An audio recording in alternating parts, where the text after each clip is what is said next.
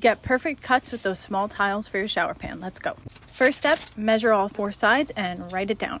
Next thing we're gonna do is we're gonna lay out the tile somewhere outside of the shower along a big straight edge to get these tiles nice and straight.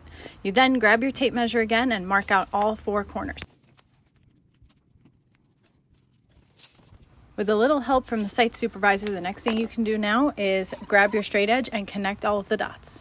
This will give you a nice straight line for those perimeter cuts. Double check your measurements always. Next thing, we're going to label all of the sheets. Bam. Then you spend some nice time cutting and placing them back in a pile and you transfer them back up to the shower and now you're ready to set. I hope this helps.